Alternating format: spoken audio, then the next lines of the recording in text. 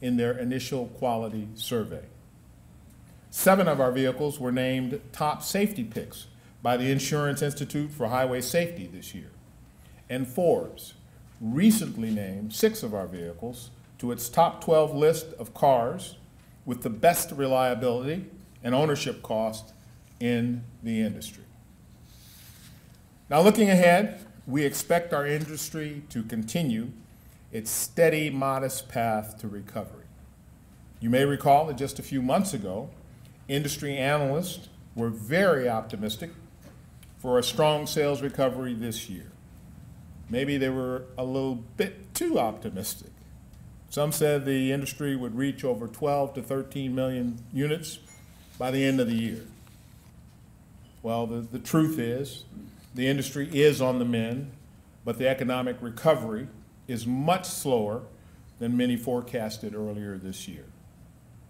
The good news is that the job market, personal consumption, capital spending, and residential investment are inching up. The bad news is, is that lingering high unemployment, the erratic stock uh, prices are restraining consumer confidence and spending, and that impacts auto sales. Our forecast for the industry sales this year is to reach somewhere between 11.2 and 11.5 million vehicles. That'll be an improvement over 2009, but still well below our peak levels of 17 million just a few years ago. And we continue to be bullish on the long-term prognosis for the auto industry due to the nation's aging fleet, high scrappage rates, and a strong U.S. population growth. We believe all of these factors are increasing the pressure for consumers to buy a new car. So it's not a matter of if, it's really when.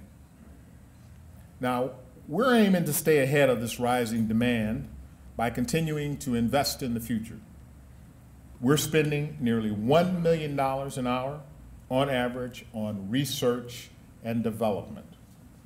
We are committed to maintaining our environmental leadership position developing technologies that serve our customers and the environment. The Toyota Prius is really an excellent example of that commitment.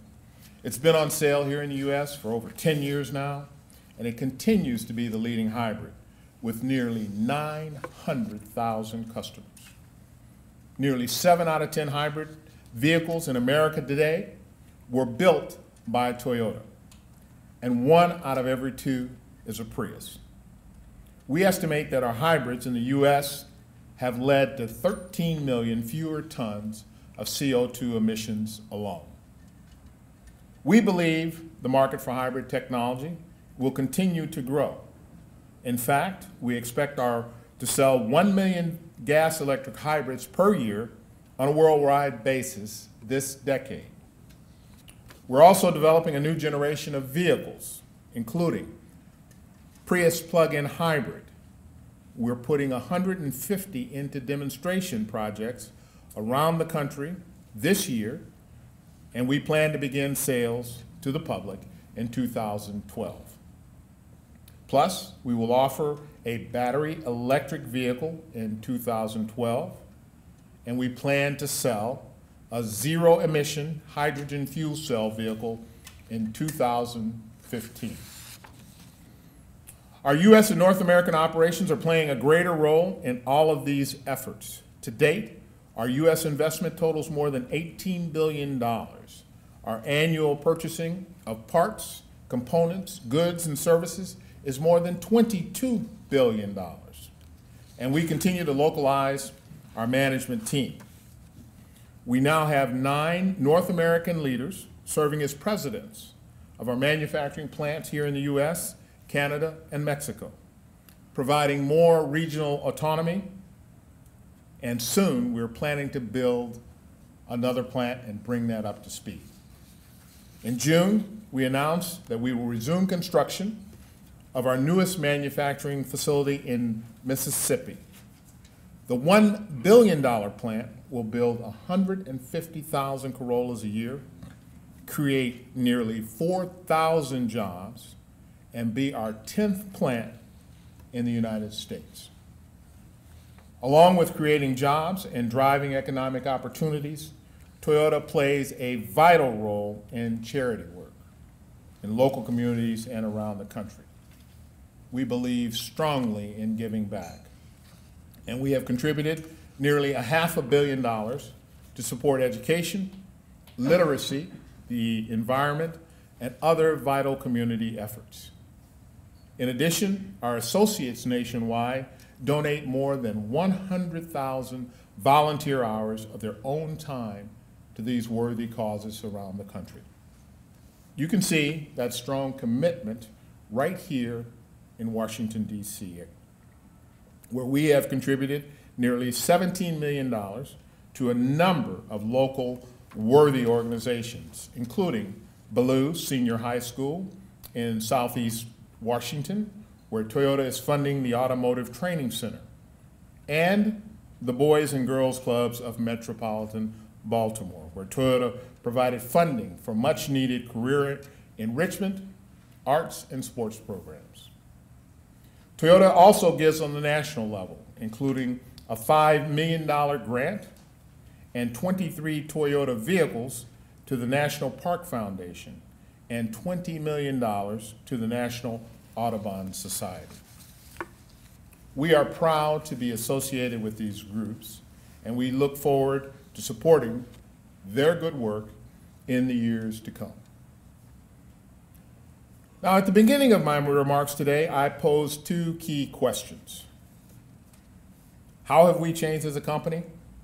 And how will we regain the trust of our customers and communities?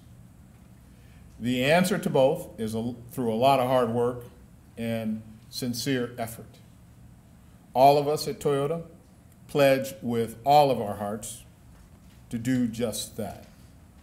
I hope that you will follow our progress and help keep us on track. Finally, in hopes that it may help you in your endeavors, let me leave you with three important lessons from our experiences. First, you cannot, you cannot over communicate. We admit that we came up short in our communications to our customers, to the government, and to our own family of associates and dealers.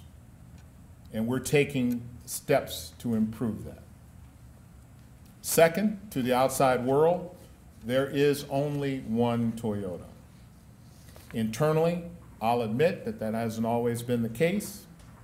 I think at times we were guilty of viewing our company as a collection of different business entities. Today, we're doing a better job of aligning our organization to serve our customers and stakeholders more efficiently and effectively. And third, and this is most important, there is no such thing as knowing your customer too well. Toyota has a long history of understanding our customers, and I would argue that we do that as well as anyone. We place a high value on what we call Genchi Genbutsu, or go and see. I think we lost focus in understanding how our customers were using our vehicles, and we intend to do a much better job of that in the future. I'm confident that we are taking these lessons to heart. And despite all that's happened, we believe that there is a strong case to be made for Toyota. Our dealers are working overtime to finish off the recall repairs, and they are impressing their customers with their service. Our retail sales lead in the industry, despite the state of the economy and the events of the past year, is impressive. We're preparing some new products to help take advantage of the recovering economy. And we have our eyes on the future as we ready a new group of environmental vehicles for tomorrow. So, all in all, we're in a pretty good place right now. And while we're proud of our progress, we recognize there is still much work to be done, and we will not stop. At Toyota, there is no best, only better, and that focus will never change. I'd like to thank you for your time and attention this afternoon, and now I will be happy to answer some of your questions. So thank you.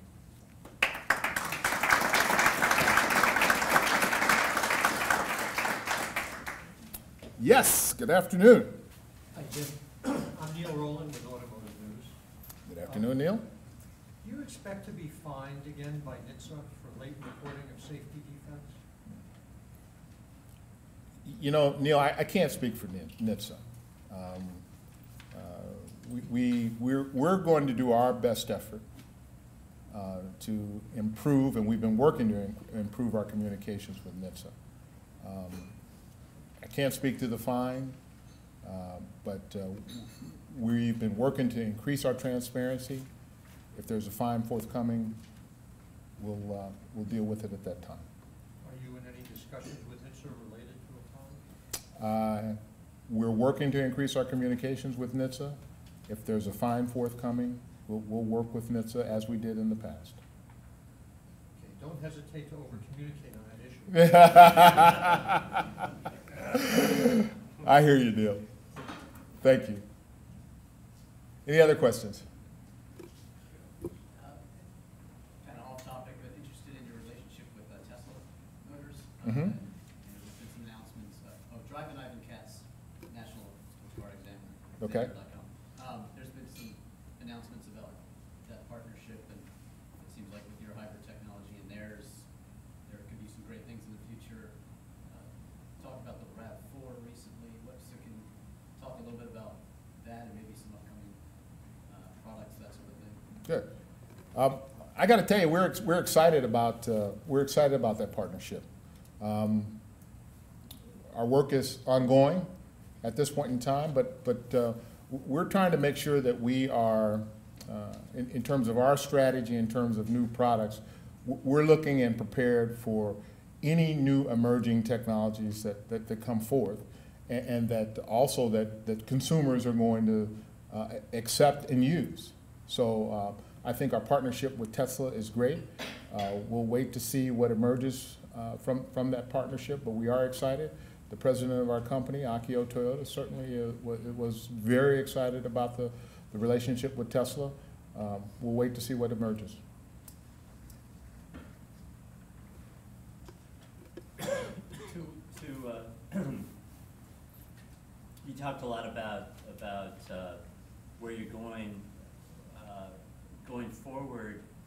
To what do you attribute the missteps that led to what happened in the past year? Can I ask you, just be a little bit more specific, because I want to make sure I'm Well, some- answering. Some have said that, you know, uh, some uh, quality issues or, or, or uh, even, even communication with the customers uh, was a byproduct of, of Toyota growing too fast. That, that may be one explanation. What do you, what do you say? Well, I I think when you, when you look at the way our company has grown, I mean, we, we have grown really from customer demand. Um, We have done a tremendous job of building our business, and we've, we've, we've done that here in the US by building a strong passenger car business. As we moved into other segments, our, our business really grew from our expansion into, to uh, pickup trucks and SUVs. And if you look at the segment where we, um, we entered automobiles, and the segment developed, and the customer demand developed, I think the, the growth was a result of that. Did it happen too quickly? Eh, tough for me to answer, did it happen too quickly?